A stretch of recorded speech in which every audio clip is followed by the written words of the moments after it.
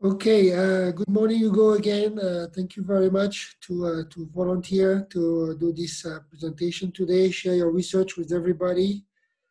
Um, the idea is uh, to, to, learn from uh, our professors during this time where, um, you know, we are forced to work with this type of technology. However, I believe that we can take advantage of this technology and, and, and this situation to have this kind of webinars um, with uh, professors from Yachay Tech, uh, professors outside Yachay Tech in Ecuador and uh, in the world. So um, we need to take these, these opportunities.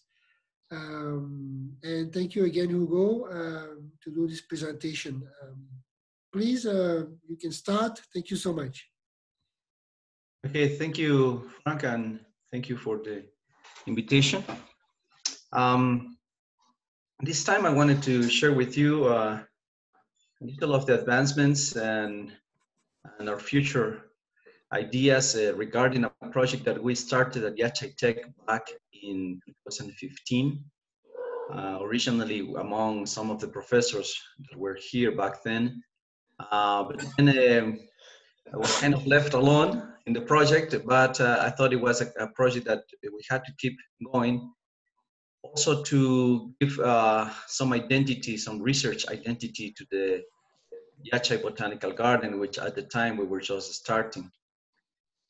So I'm going to talk about uh, what uh, we have done in terms of uh, ex situ and in situ conservation of this Andean tuber, which is called Oxalis tuberosa, here in Ecuador called the oca, and which is a, a tuber that uh, is in the last decades, even though it is a native tuber, people have not, you know, the consumption of this tuber uh, has been reduced among, among people. This project, uh, of course, uh, you always collaborate, and it is because uh, it is uh, uh, actually an agricultural oriented project. So I, from the very beginning, I recruit uh, with the support of the university um, two persons that were uh, agricultural engineers. At the beginning was Alex Cabrera and then also lately Micaela Navarrete, who, as you know, later uh, became a member of our faculty. So let's start. Let's first introduce this little plant. Uh, let me first ask the audience, have you heard about the oca? Have you seen the plant? Have you eaten? I don't know if anyone can answer that. If you turn on your microphones. Anyone? Is there anyone in the audience that has eaten oca? Yo la he comido, sí, está muy rica. Sí, okay, that's uh, our friend uh, Javier. Anyone else? Yes, me. I have eaten. Okay. What about the rest?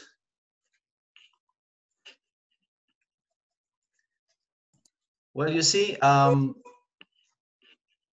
yeah, you see, when you ask these these questions to people, usually it becomes a little bit strange because often uh, what you see is that you know very low percentage of people maybe 2 30% 20 30% of the people actually have eaten the oca in their lives.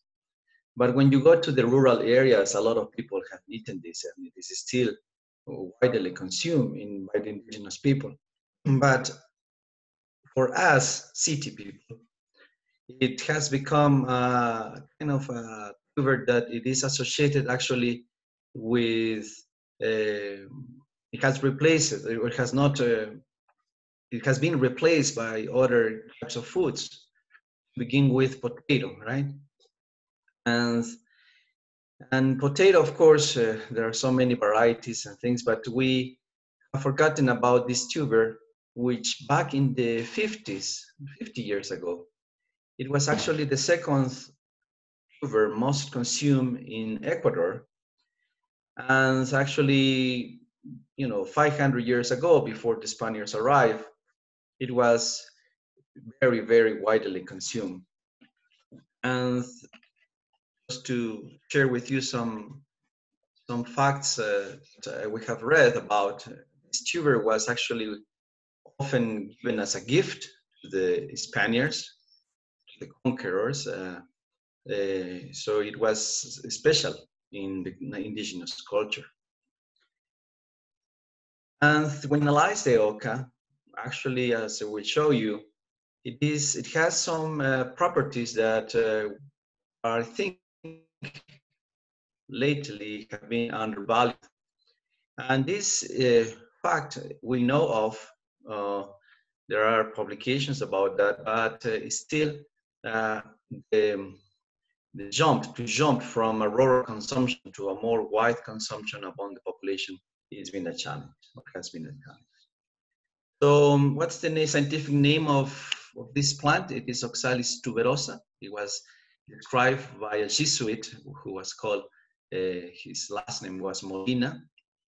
This is back in the 1700s. Um, where does it grow? Well, it actually grows in from approximately, you know, from 2,025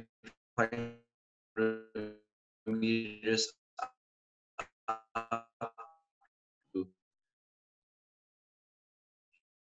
thousand meters depending on terms of the soil conditions actually it is very flexible. I we was reading that it can sustain um, from five to seven uh, ph uh, in terms of the soil which is uh, relatively wide uh, uh, conditions for ph and in terms of the rain also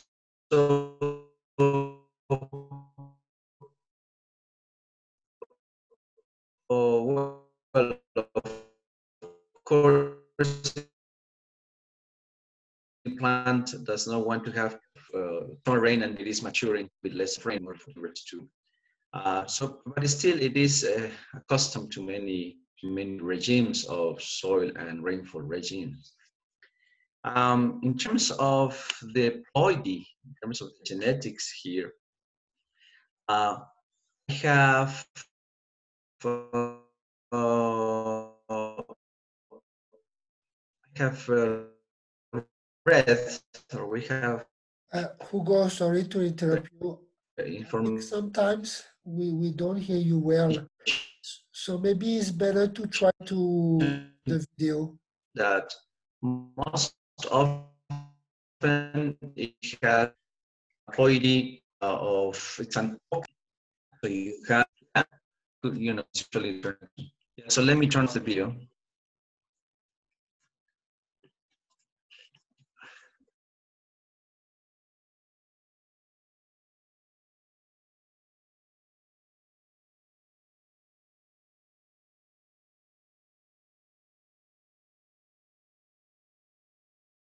I think I lost connection.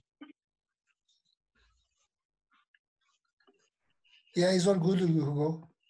Okay, okay, because I got a message that I lost my internet and then it is here. Okay, so I just keep going. In terms of the octoploid, uh, it is an octoploid, right? Uh, which actually it is a complicated situation because to understand the genetics of an octoploid, you know, a plant that has uh, eight uh, sets of chromosomes, um, it is a challenge. And actually, it is one of the things we would like to do in the future in collaboration with some geneticists. Uh, but sometimes uh, the ploidy can change. Uh, there are reports that sometimes it is pentaploid or a hexaploid. So why do you have this? Because the origin of this plant actually is is a hybrid. Uh, Hugo, um, sorry, we don't see your PowerPoint. Ah, okay. So, yeah, actually.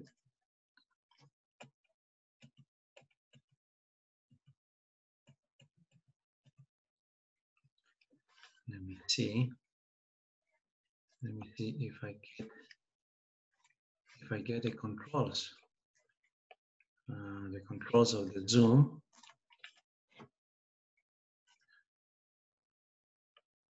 oh I, I got us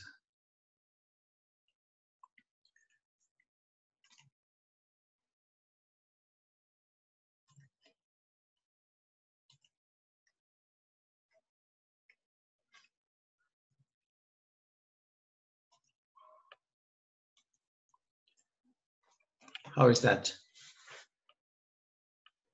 Yeah, it's perfect to go. Thank you. Okay, yeah. All right, so um, uh, where was I? Um, I was talking about the ploidy, right? And then, uh, so the ploidy is, uh, you got these eight uh, sets of sets of chromosomes. It, why sometimes you got uh, also reports that it is an hexaploid or pentaploid chromosome. And what is this? Well, you got to remember, we have to remember that it, uh, the origin of this uh, Oxalis tuberosa, the domesticated plants, it actually is coming from hybrid, hybrid between wild uh, species. And there are some hypotheses of where what parental species are the are the origin of this Oxalis tuberosa, but the story seems a little bit complex uh, because actually when you take all the variability within the Oxalis tuberosa, within the tuber, uh, you find that uh, there could be a, a, number of options, a number of hybridizations through time that allow this, uh, this plant to actually become very diverse. So it seems like the latest, the latest um, approach is that we consider this plant uh, species complex. And what is an species species complex? It's just that you know you got a species that so much variation, uh, but they all kind of uh, share a number of characteristics, but still um, we're not sure whether they are actually different. So we call this a species complex. Um, and also, it is important to realize about the breeding system of the Oxalis tuberosa. Um, begin with, uh, well, this is the flower, you know, from very nice flower, bee pollinated. Uh, but it turns out that when the flowers actually grow, it is very rare actually have fruit. To see the fruit in the field, it is not that common, although it happens, but it's not too common. And it, people say uh, because of domestication, actually, this part of this life cycle of the plant has been kind of, of reduced. Often the, the flowers will fall and will not produce a fruit. Very tiny capsule with, in this case, for example, four little seeds. And that's very, that's not uh, common to see. And also it is important to realize, uh, well, why is this? Because, you know, the, the plant has been uh, vegetatively through tubers. That's how it, uh, it uh, is propagated. So the sexual reproduction is not uh, that common. Still, sometimes you may have that and, and there are publications that argue that because of sexual reproduction, when you get sexual reproduction, you get uh, varieties, you know, you get tubers that look a little bit different, and then these are uh, selected uh, by, by, people. Uh, it's important also to realize the breeding system. Breeding system, it is also not typical plant. It turns out that it has an auto-incompatibility system, people say. What does that mean? It just means that it doesn't want to to uh, fertilize among uh, flowers that look like in terms of their anatomy or self-fertilization to begin with it is really rare. And why is that? Well basically it's because you have three types of flowers usually in a population.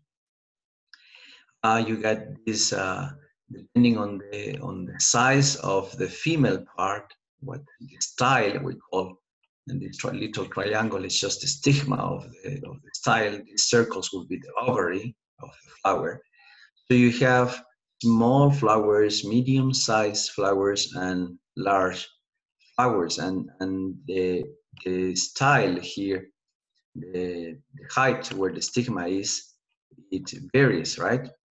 And then you'll have the stamens, right? Here is the stamens, this it is just the anther where the pollen is. You also have variation in the size of the stamens. And uh, it turns out that only that when you in nature when you have a stamen that is that has a, for example this stamen here it will only uh, with anther here it will only get to pollinate those stigmas those stigmas that will receive the pollen from this uh, from this anther will only be those that have uh, that are the same size you can see the arrows just indicating what uh, stigmas are receptive of the pollen. That really limits uh, cross uh, a little bit of outcrossing because um, it, it is not only a matter that the bee takes the pollen to the other flower and that's the end of the story. It's also a, a matter of whether your stigma is receptive depending where it came from uh, depending on the anther that it came from. So it is that uh, gives a, a, it is uh, you know complicated therefore to get, as I said, fruits. So moving on, people always wonder, okay, why, uh, how important can be this tuber for the nutrition of our people? And there are many actually publications, depending where you are, uh, we got to remember that nowadays uh, we, we, we have uh, tubers of oca not only in the Andes, but it has also uh, arrived to England, for example, and in the 60s uh, uh, there was a boom of planting oca in New Zealand. Actually, in New Zealand, they call it the New Zealand yam. well, it happens. and um, people are, are always, uh, you know, depending on the variety, you get different uh, values.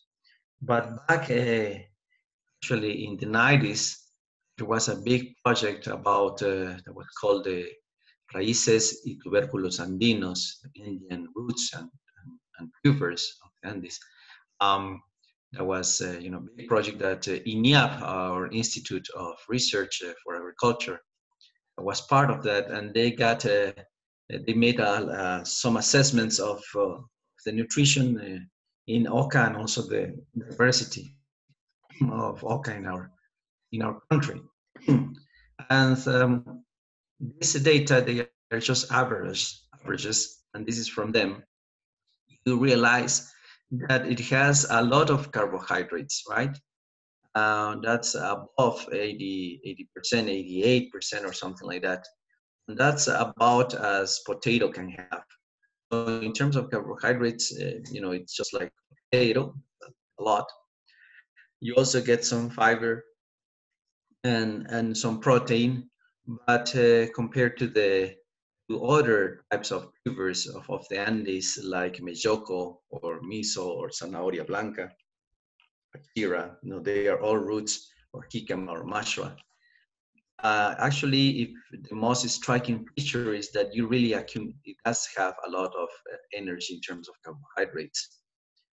Um, and just like potatoes, so it could very well uh, compete with potato if there was a market for it, a more larger market than it has now.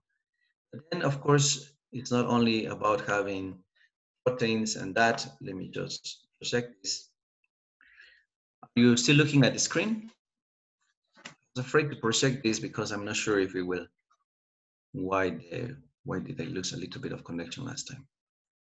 I think you're looking at it. I got a chat here. I always don't like to see the chat. Okay, thank you, Marcus. All right.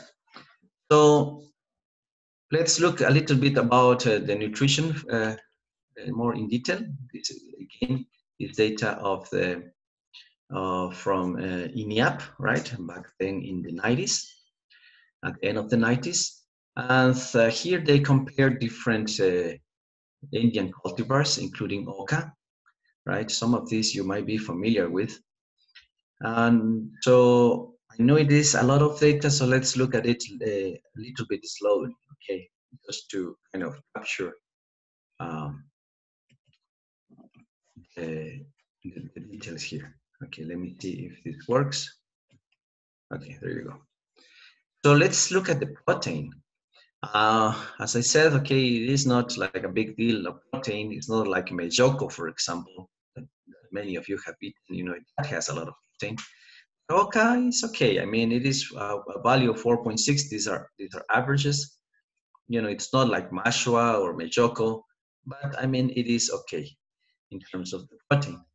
Now, as I already told you, in terms of the carbohydrates, then that's a lot, 88%.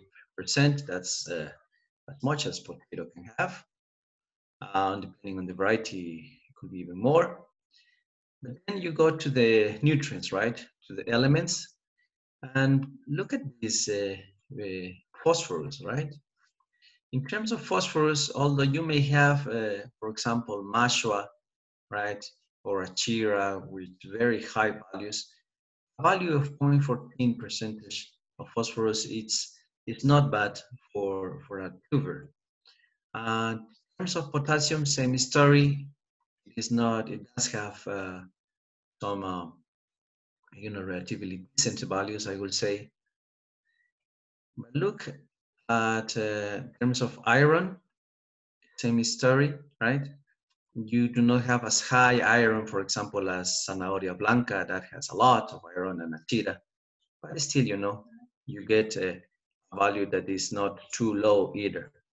But then look at this, and, and that's why I put in red, look at this value of the iodine value. Now, iodine, iodide, iodide, right? It's, uh, as, as we all know, right? It is a very important nutrient, right? For example, to make a, to, for the thyroid, this, right? To avoid the, to make our thyroid gland work okay. And that, look at that, it has 3.65 parts per million. And that is a lot more than, than the other uh, Andean tubers have. And some of them actually have basically nothing.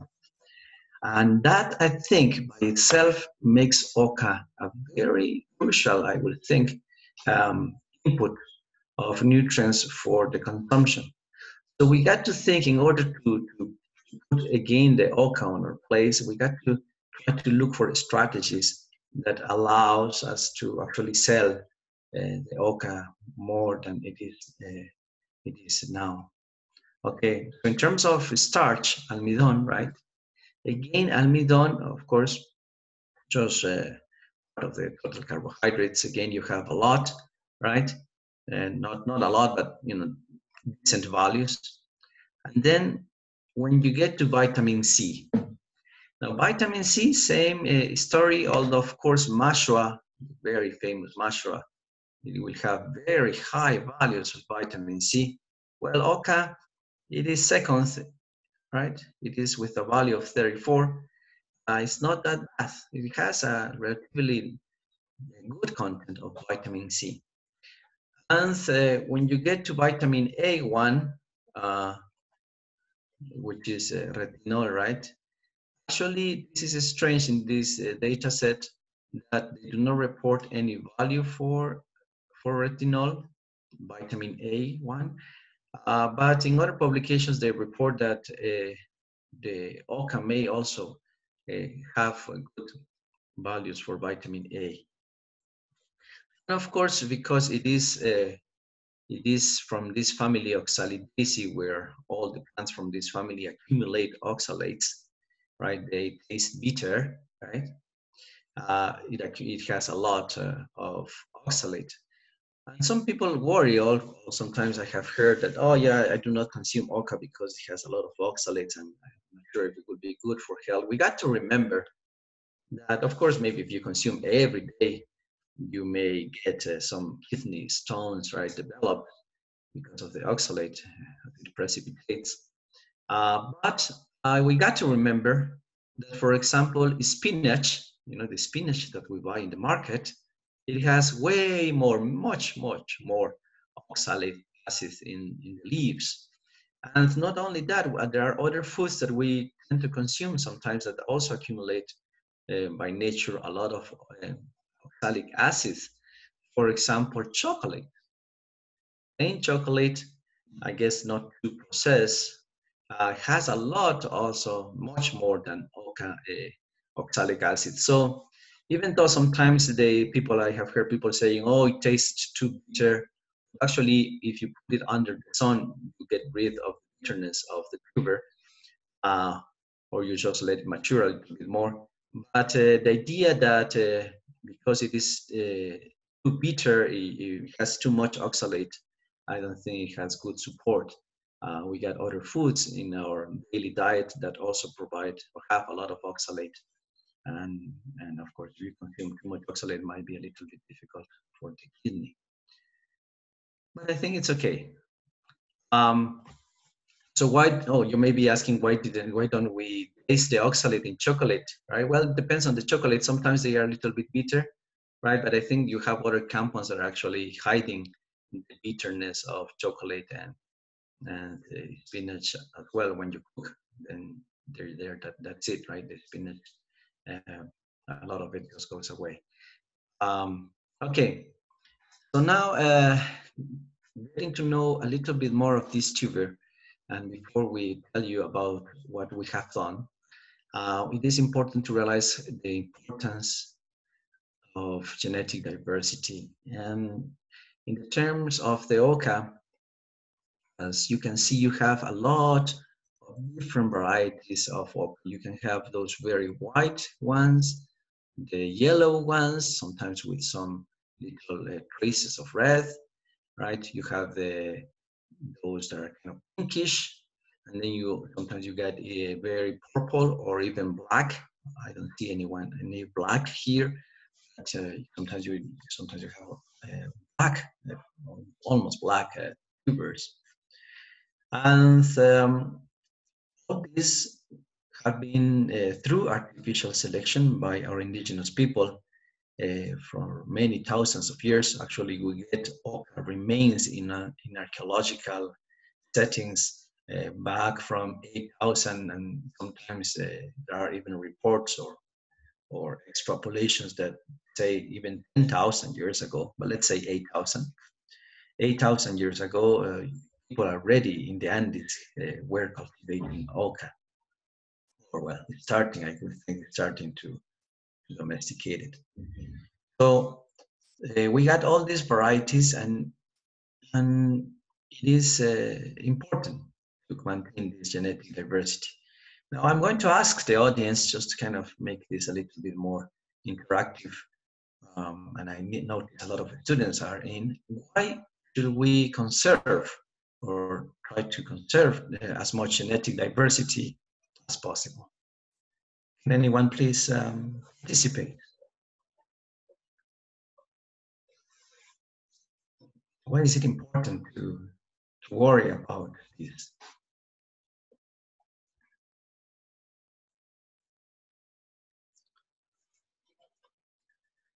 No one?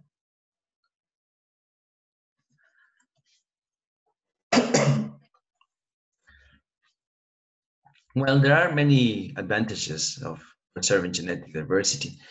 And the, well, what uh, in especially when you face uh, the future, that uh, the future is always unknown, it is uh, usually better to have uh, the genes where you can actually, you know, that you can count with in order to face the conditions of climatic conditions or environmental conditions that can actually challenge you to adapt. You know, climate is always changing, and uh, you get and more so now, right? So when you get genetic diversity uh, in general, uh, an organisms an organism can be better prepared to face these environmental challenges that at the end represent uh, selection forces, right? Agents of selection but selection needs to act on variability, as you very well know. And if you do not have variability in the population, then selection cannot act, and you are doomed to extinction, basically. So you need to have genetic variation in order for selection to act and in order for survive in the long term as a species or to evolve or to change, right? So it is important and uh, what uh, it is an important treasure, right, for maintain, and more so for these domesticated uh, plants. So you may be asking, well, how on earth uh, the genetic diversity appear? Um, of course, right, it is through evolution, right, through selection. It could be natural selection, right, or artificial selection by, by humans.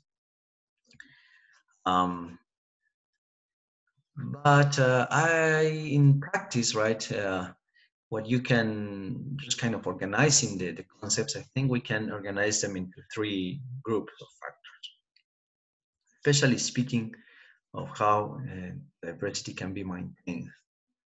You got, of course, the genetics, right, within the plants, the genotypes that eventually express phenotypes, right? But because we're talking about a domesticated tuber, domesticated plant, you also have the effect of humans, right? The anthropological factors here. And by anthropological factors, I am including, of course, as part of anthropology in the broad sense, uh, agricultural practices, right? All these ethnographic practices that actually have an effect on the on the tuber and the diversity of the tuber. And then um, also ecology. When you put ecology into the game, people sometimes don't think about this, these ecological factors and how they are interplaying with the genetic factors. But actually, when you put uh, ecological factors into the game, you can understand better the processes that have affected the evolution of a plant or an organism. And you get into the realm of what people say evolutionary ecology. Um,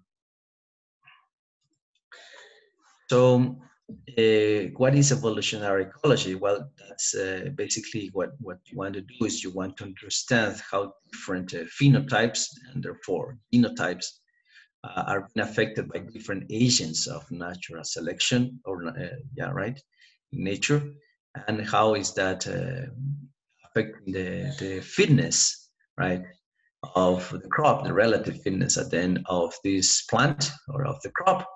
Because sometimes we think that it is only the humans that are exerting an effect on the genetics of, of, of this tuber.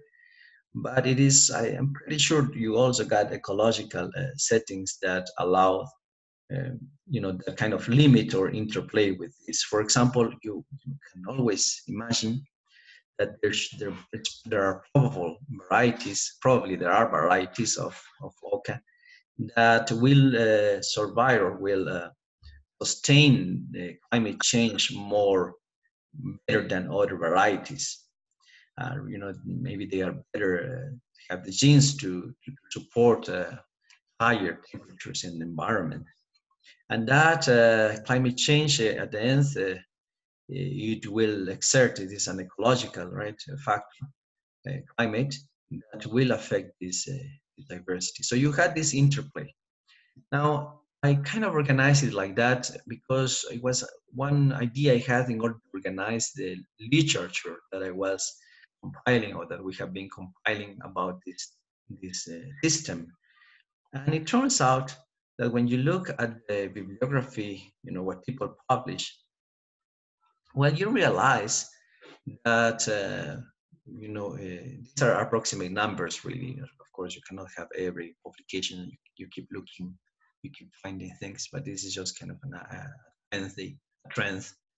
And so just notice that everyone, most people are worried about the genetics within populations and among populations, right? You got 15 uh, studies about that, and only one in Ecuador back in 2002 uh, using the molecular techniques back then, uh, the, the Institute of Agriculture kind of assessed the genetic diversity in their collection. And of course, people also worry about the humans, how humans are, are managing this cultivar. You got like eight in this case, two studies in Ecuador. But you, joining genetics with anthropology, you got three studies, only one in Ecuador. But then when you think about ecology, look at that. It is an empty spot. Uh, and, and, and, I think very little has been done in terms of evolutionary ecology. For example, when you do these transplant uh, experiments, for example, that you plant in different, let's say, altitudes or environmental conditions, uh, plants, populations that originally were not from there, but you do the same thing with other populations. You kind of mix things together, transplanting. We do not have any of that basically. Uh, or, or even common garden experiments, right? That uh, people just, uh, you know, have all the varieties of all kind one single place in a single environment and just assess uh, how they develop uh, under the same environmental conditions or controlled environmental conditions. And uh, that's all evolutionary ecology, and basically it is an empty, an empty spot. Uh, we, we still have uh, need to have a lot of information about that, and I think it's basically a historical uh, thing because people think it's a crop and they think it is out of ecology. Well, crops are also part of the ecological system, right? They have pollinators and everything. So I think we need to think about uh, for crops management, uh, think more about ecology. Well, but this is in Latin America, right? In other places, it's a different story. Okay. So that was that was genetic diversity, kind of finding it and, and thinking about how it originates and how it is maintained. But this genetic diversity we need to protect. How do we protect? Well, we can uh, basically his, people have organized themselves into two strategies. We have uh, conservation that is in situ in the in the proper habitat, right? And you also have ex situ conservation, which is uh, out of the habitat. And in our country, uh, you, we only have the collections from INIAP. INIAP has around 90 uh, accessions in their seed bank. They are all in vitro. Sometimes they take it, they take them out from the in vitro collection, and uh, then that's all we have. And then in the field, and so by the beginning of the project, we thought it would not be bad uh, to have uh, also contribute to this ex situ conservation efforts from Yachay Botanical Garden by creating also our, our kind of a seed bank or germplasm bank, right? with the varieties of, of the country, but not yet in vitro. That's something we want to do in the future. So let's uh, just keep going a little bit faster. How, when you do these seed banks or germplasm banks, look at uh, Ecuador, right? Look at the, the, number of accessions in, in Ecuador. This is 2006 data. It's only 135 accessions. And that represented around 20 morphotypes. Now, this just goes to show that, uh, you know, in contrast, a, a, country like Peru, where I think they are valuing more this OCA than, than us, they really are into it. I mean, they have above 1,000 accessions. And from their uh, classification, you know, there are different classifications of morphotypes, so you cannot really compare these numbers, but maybe they are kind of, they, they might be just genotypes. They have above 700 morphotypes, different kinds of organs. That's a lot. I think they are thinking more about the genetics, the the than the than actually the the phenotypes. Um, but they still, you know, compared to Bolivia, same story. They got like 500 in their seed banks, and here here we have, you know, little really. So I think, you know, we we we could do more about that, and that's what we wanted to do. So these approaches that you have conservation in situ by the people themselves and also ex situ in the in the germplasm banks, actually they are all connected.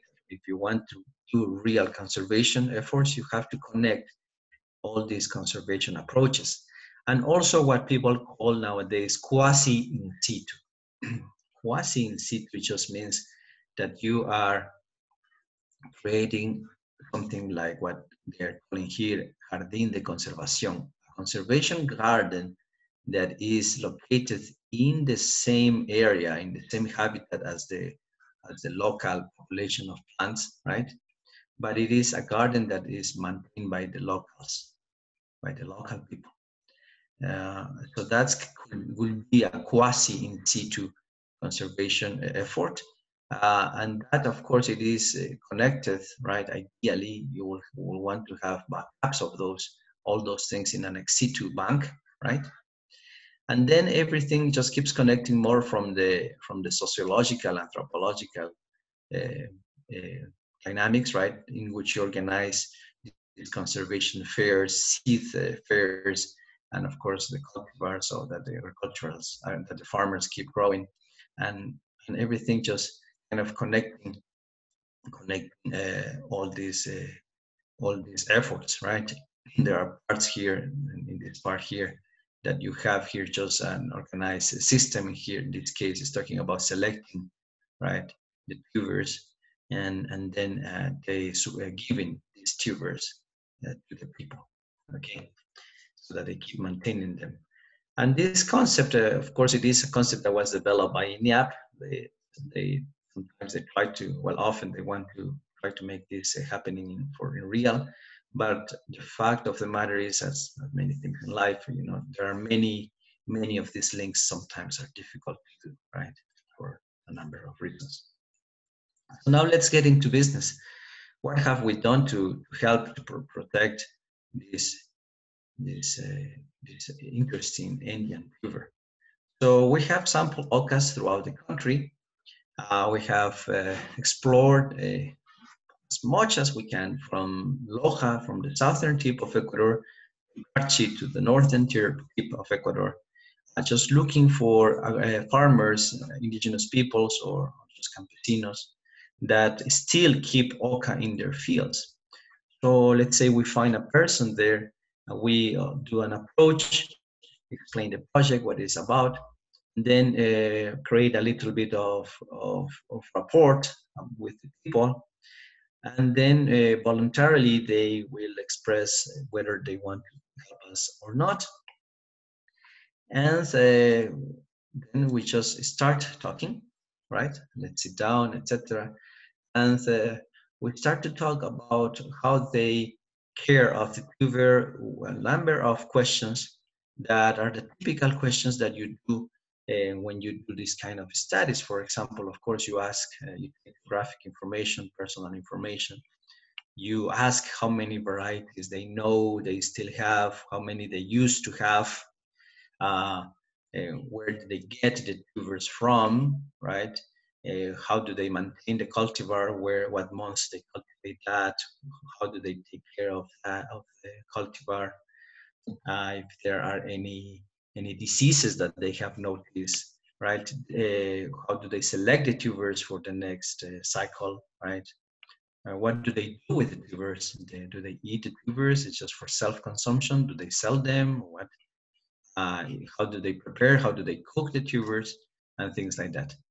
So with all this information, right, finally you, you we ask them, right, if they could donate some of the tubers uh, to us, and we take this to the to our germplasm bank at the garden. Now that this uh, this uh, system actually is something that we it is very time consuming but you end up with a lot of information. You record, you record the interview with these people, and then uh, you have all these recordings uh, for to analyze then later on. It is kind of an open format interview. Some sometimes people talk about many other things, but you have kind of uh, some uh, guidelines uh, in terms of the questions. Um, so as of today, we have been in 188 sites in the country. Uh, that just means that we have visited uh, 108 families or persons, right, in the country, and, and that's a map where we have been. We still have to explore a little bit more of Pichincha. I left that at the, by the end because I thought it was closer to us and maybe it was something like a weekend or one day uh, effort. So we still need to finish a little bit of the sampling in, in that province. But we have a lot, and I think we have a very good representation. Uh, there are areas in the country that when you do not see a red dot, it doesn't mean that we have not been there. We have been there exploring all the Andes as much as we can. But actually, we, there are areas that we have not found any any uh, cultivar of oca, people have stopped uh, planting oca tubers. So we have, what is the situation at the moment? Well, of these 188 sites or persons, sometimes they have one, two, three, right? Um, different cultivars of oca. So for each one of them, each cultivar will, will represent an accession. So in total, actually, we have collected uh, 339 accessions. But uh, sometimes you collect things, but when you go to the ex-situ uh, work at the garden, uh, you know, things can happen. Sometimes they are just, uh, they, you, you lose the plant, either maybe it has a disease or maybe uh, it just didn't terminate, it was not viable, uh, different situations, right? Um, so we were we have been able to germinate around 261 of those accessions. Sometimes you do not bring tubers. Sometimes you bring uh, because it, the plant is not ready. You bring a whole plant with uh, earth, um, and that's your collection, right? Because the tubers were just not ready in the fields for you to collect. In any case, uh, for those that germinated, we have uh, leaves collected right, in silica gel. And also we have them at minus 80 degrees in the freezer at the university. Um, and the idea with that will be, with those samples will be to eventually at some point do a more in-depth genetic analysis. Now, as time goes by, uh, as much as we put the best of our efforts, uh, it is not that easy for a number of logistical reasons and, and also because of the environment, maintain alive all those accessions. And that's why we would like to actually have uh, or start to have our, our accessions in vitro. Uh, so at the moment uh, we have like a uh, hundred accessions approximately that are still uh, alive and well in the situ collection. Maybe those are the ones that are actually uh, adapted or have the, the, the, ability to adapt to these more um, conditions of the garden, which is actually uh, an environment which is more warmer. So that's what uh, we do, right? Um, the garden is not uh, high-tech things, uh, but it is uh, it is a bank that is uh, we have been able to maintain over the years. So where have we collected, right? And how many how many morphotypes we have had?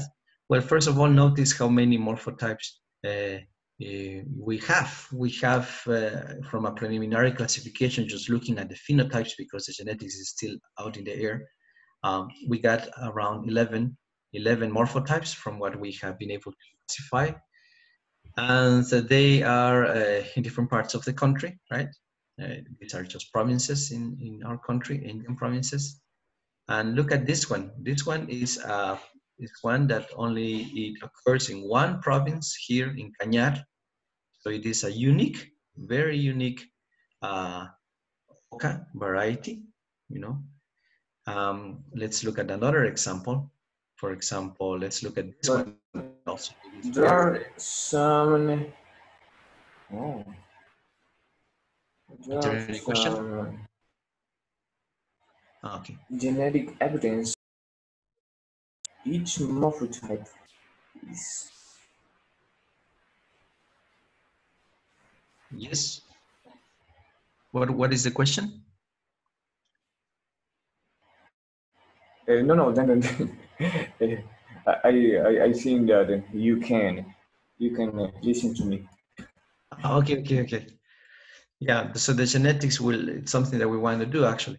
So we will, you will have uh, this other situation in which we have other, another very rare variety and that also we were able to find it south of Ecuador and, and there's one collection in Chimborazo. So they might actually be different in terms of the genetics because they are far away, but they look very, very similar.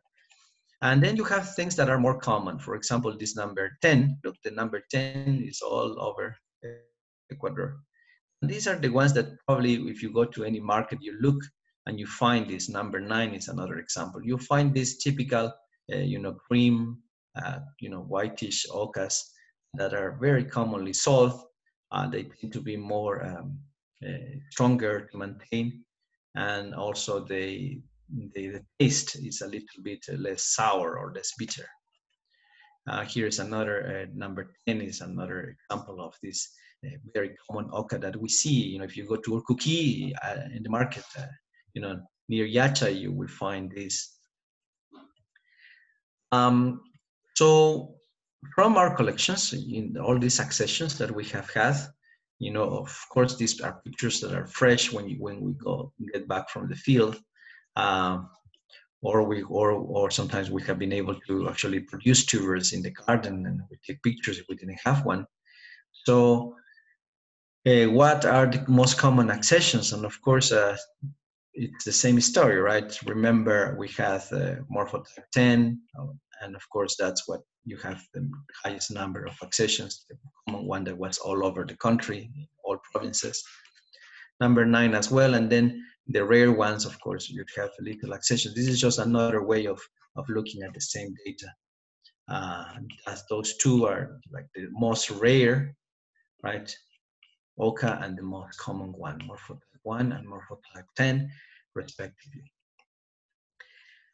Um, now, how much have we sampled in each province? Of course, it depends on uh, if you find or not uh, people cultivating OCAs. Uh, but uh, here is a very clear trend that our indigenous people in the provinces of Chimborazo, Cotopaxi, Imbabura, and Tungurahua, as we all know, they have a very high indigenous population density. Um, they, uh, that's where we have the more, the more accessions from because we have more often found uh, people cultivating uh, ocas so you just keep accumulating accessions. In other provinces, sometimes what has happened is that you really need to explore a lot in order to find a person that still cultivates oca. Sometimes uh, you get kilometers and kilometers of in the Andes, and, and you keep asking, asking, asking, and they typically story as, oh, the story is we used to plant that, but nowadays because it is just so cheap in the market, we we just are not planting anymore cultivating that anymore. And then sometimes you find this old lady or old man that is still, you know, just for self-consumption, has a, a oca being planting planted in in their little farm.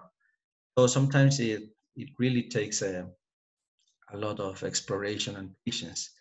And now, how do we? When do we move on? That's another question you might be thinking of, about.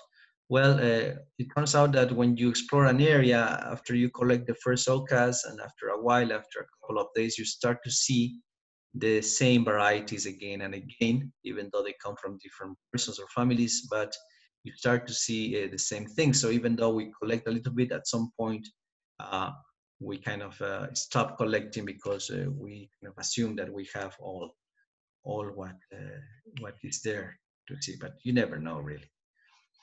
Now, this is the most striking uh, pattern that I think if there is anything you got to remember from this talk, please remember this.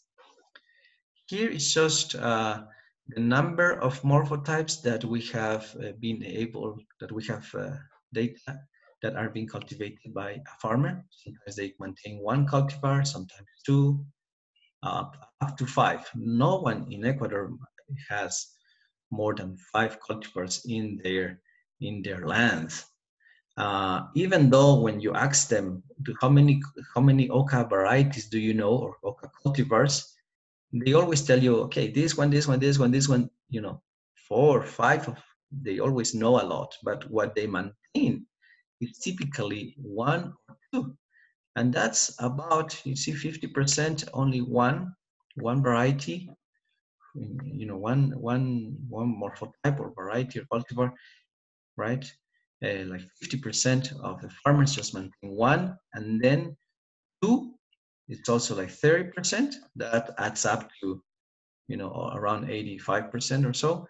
Um, the rest uh, very few people have uh, more than that.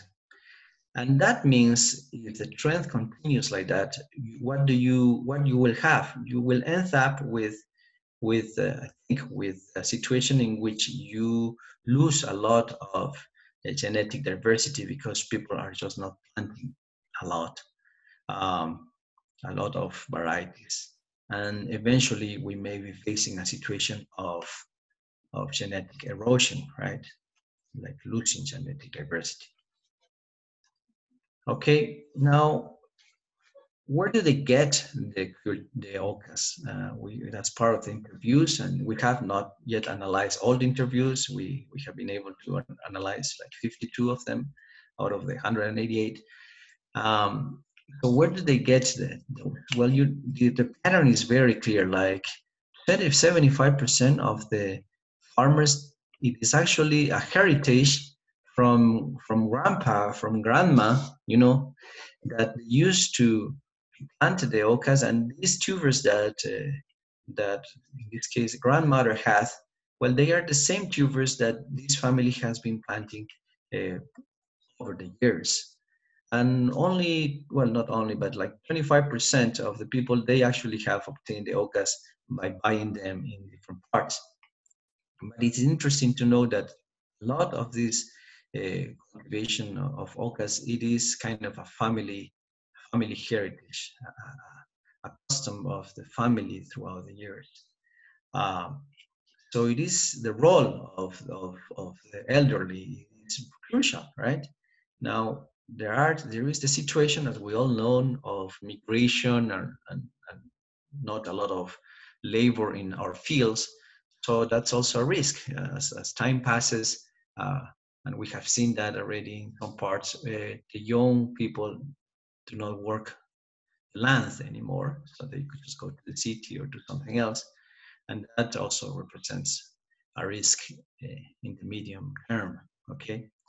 Uh, now, because they do not actually, you know, when you get OCAS, it's not like a super pricey uh, thing that you can sell very good in the market.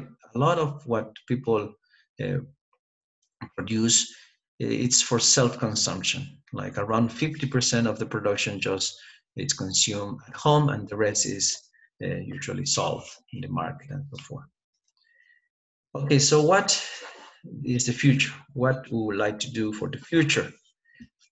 For the future, uh, of course, we, yes? Sorry to, to interrupt you a little bit. Is, is 11? Uh, I don't know if you have a, a couple of uh, very yeah. that you uh, this is the last part yeah, this is just the last part. Um, just to tell you what we would like to do in the future. Um, finish some of the sampling, and of course, we need to take care more of our management in at the Botanical Garden. And um, there, I think we, we, still have now enough data to publish about the ethnographics uh, or agronomic data for, for, for the of the OCAS. And we keep looking for funding. Uh, we every year we, we look for funds. We have not been, that lucky always, uh, but now we are trying trying to apply to, for example, the ICGAV, and especially one one empty one thing that is important is to do the genetic analysis, and also the in vitro collection, and also the, there is those all this uh, wide relative uh, uh, system because in order to understand the evolution of OCAS, you need to have or to have reading material for the future, you need to have also a collection of where relatives. In terms of the genetic analysis, is a whole world uh, that uh, you just need to get into the, the, genetics and phenotype and genotype, and then you calculate genetic diversity indices, and also you need to understand the structure of the genetic uh, relations. Um, and for that, uh, you know, it's a whole, it's a different field, it's population genetics, right? That you really uh, have a lot of different ways of measuring genetic diversity. There are manuals, this is just information uh, that you, uh, you can do. Uh, we do not have a person specialized on this. At, uh, at university will be something I think especially useful now that we have especially the School of Agronomy. I think we will need a population geneticist so that we eventually get uh, some publication like this one. This is just an example, for example, uh, an example of genetic diversity and population structure of uh, Origanum, right? Oregano from Morocco using these markers. And you get all these indices and that uh, really gives uh, good information to, to, for conservation strategies, right?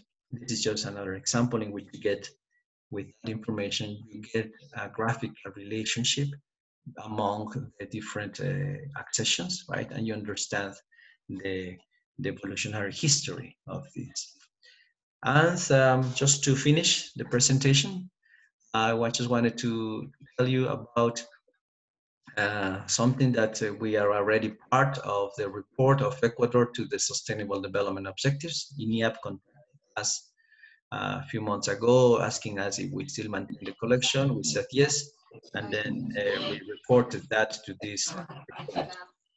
Um, I was just finished showing you our botanical garden where the collection is, and also, of course, always inviting you to visit this area uh, you get to, so you can know learn more about plants and the diversity therein thank you very much to everyone uh, and if there is any question uh, if there is, there is time or just feel free to email me uh, i'm happy to to respond or talk about Thank you so much, Hugo, for your help. Um, so anybody who has questions can write on the chat um, and then uh, Hugo can can respond in order. Okay. I Thank you very much. I have a question. Uh, Franz, maybe because sometimes the sound is not good, I, I, I advise you to write the question uh, so it's easier. Okay. and We can can can listen and understand.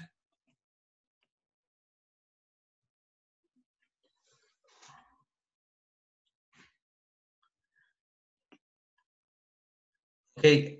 Um, Javier was asking whether uh, oca is attacked by pests like most common crops. Actually, uh, from what the literature says and that we what we have confirmed in the field, oca is a very strong, very strong uh, cultivar. Uh, even though sometimes you see some diseases, it is really um, you still get production. So it is not like potato. The problem with potato is that we have uh, industrialize it so much that in order to have a good production, you need to add fertilizers and this and that, pesticides, and then you get a good crop yield.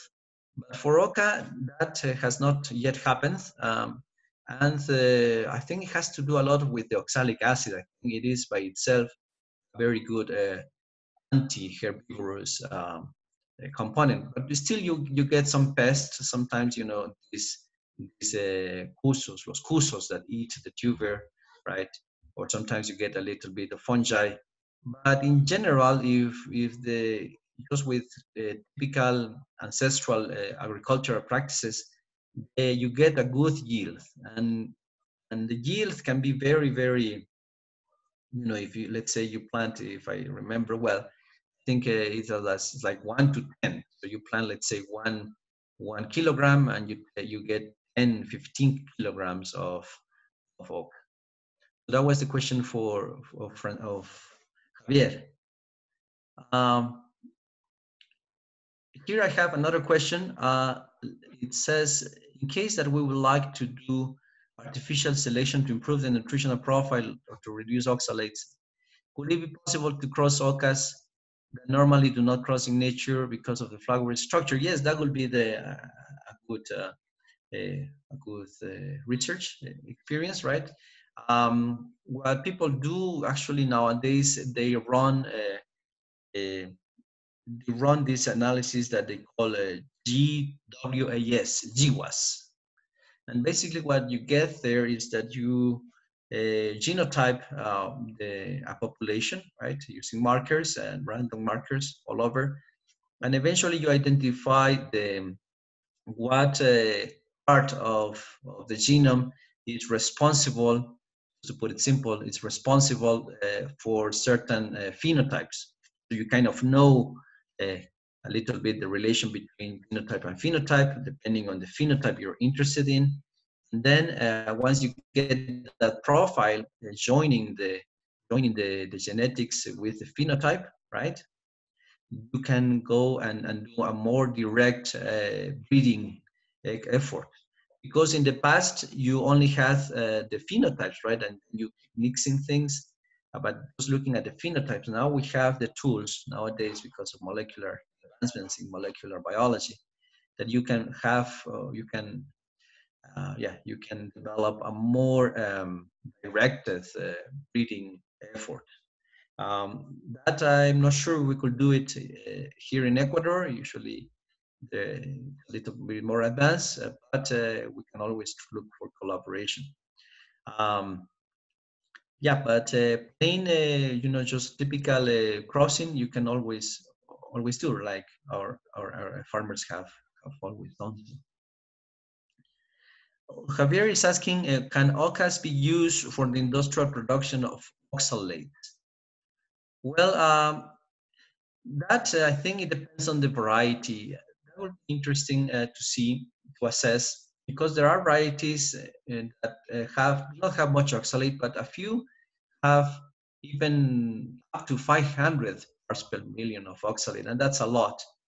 And um, because a lot of it is in the tuber, and because the yield is very high, if you get a variety and, and you manage the crop very well, you will get a lot, a lot of tubers with very high uh, oxalate content that maybe will have uh, an industrial purpose uh, of oxalate extraction. And as we know, oxalates are used in different types of industries. Um, and um, so something to try, but we need to first identify those varieties that have the highest oxalate content. So that was part, that is part actually of what we would like to do. If we get the funding, run some bromatological or chemical analysis more in depth for each variety that we have in the seed bank, not only our seed bank, but also the seed bank at uh, INIAP. But in theory, it should be possible, especially because of the high yield uh, that OCAs can have, the, the very high amount of fibers that you can produce uh, in the field. So maybe an option. And Jocelyn is asking, I have heard that oca grows best in cold areas. Okay, indeed, but I tried to plant here in Ibarra and only the plant was produced was produced, but no fruit. I guess what she means is no tuber, right? So can I consider that information, the cold is true? Yes, indeed, uh, evolutionarily speaking, because of the origin of the plant, because of the ancestors of the plant, of the plant. This is these are high altitude uh, plants that will grow will, will grow better uh, around above 3,000 meters, right? And in Ibarra, I think it is 2,300 meters, if I'm not mistaken. We are a little bit low. We are like at Yachay, the same situation.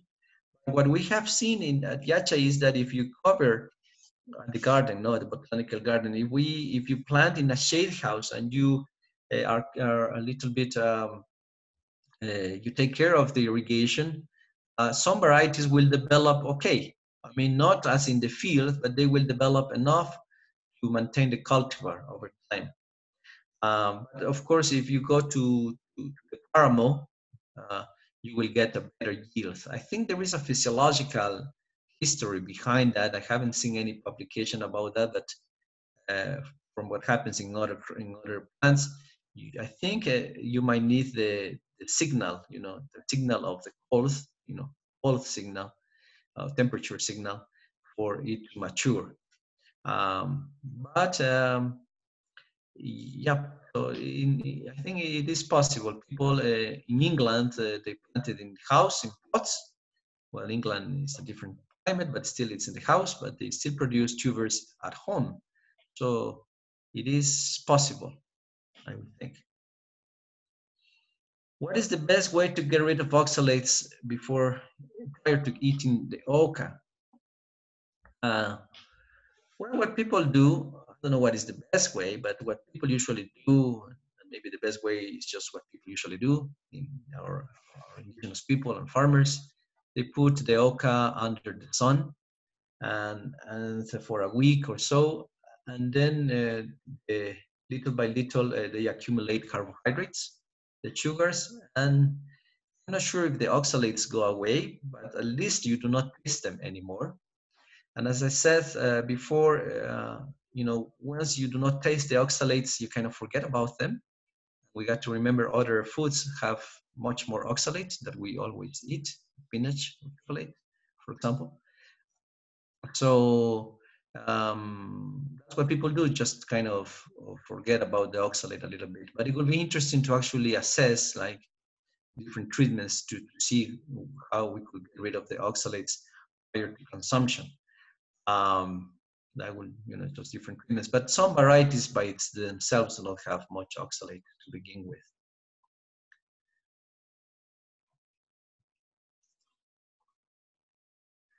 Okay, uh, any more questions? Well, if there are no more questions, um, you know, uh, we have your email, we have your contact to go. Again, um, this video is going to be shared, and uh, I'm sure uh, anybody can can follow up. Thank you very much to people who uh, who joined, the students, the professors. Thank you, Hugo, again. And uh, Welcome. and uh, please continue to connect to our webinars. Uh, we have uh, some some more interesting, uh, some additional webinars coming soon. Uh, please follow the schedule, uh, log in, and, and, and continue to learn uh, through this platform. Thank you, everybody. Bye bye. Thank you, everybody.